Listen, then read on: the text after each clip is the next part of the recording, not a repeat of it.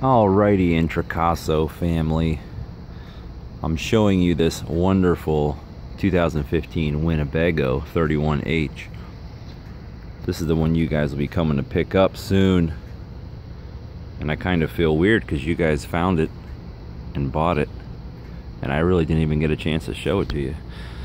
So I figured I would do a little walkthrough video and show you a little more uh, in detail of what this coach has to offer.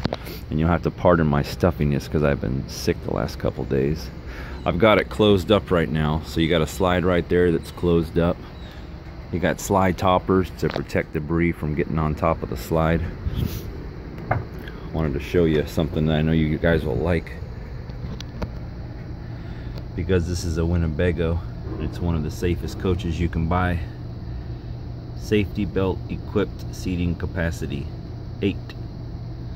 So you got eight seat belts in this coach.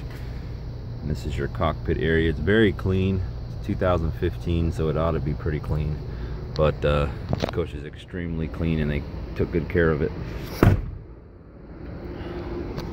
Got a couple uh, compartments around here. I think that's just a little little bit of storage that one's just a little bit of storage as well. This has only got uh, one AC, but it's plenty to keep the coach cool. That's where you're going to keep your uh, 30 amp power cord. Obviously, we've got it plugged in.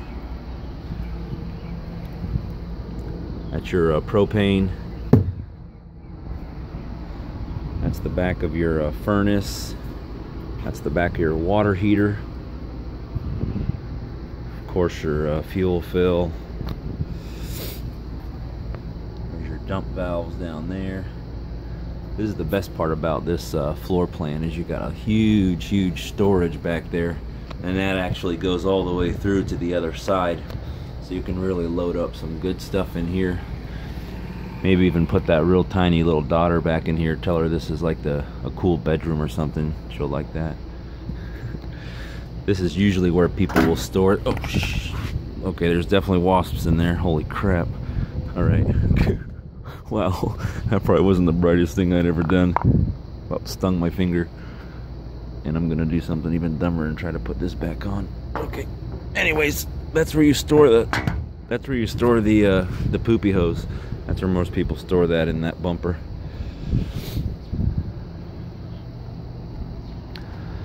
There's the back of your coach. Um, you do have a ladder to get up there if you ever needed to do any service on the roof or check the AC or anything like that. And there's your little backup camera.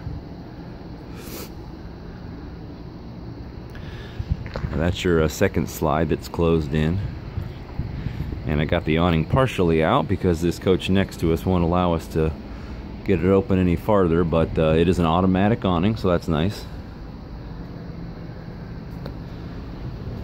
Reel it back in. Awning in.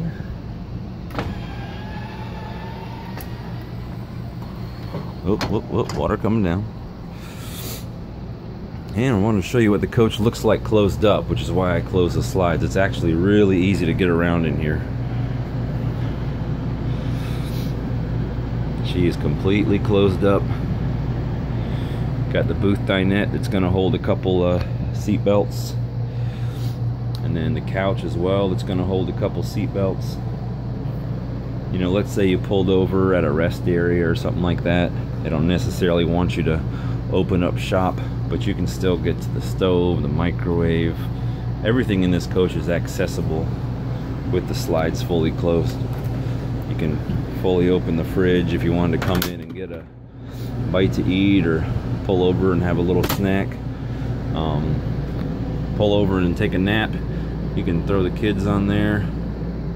You can still get back to the uh, queen bedroom.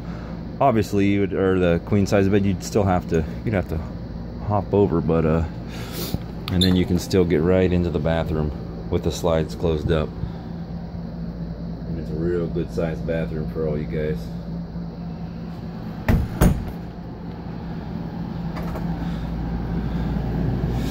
Let's open up the slides though and see how much space we're working with. When you do get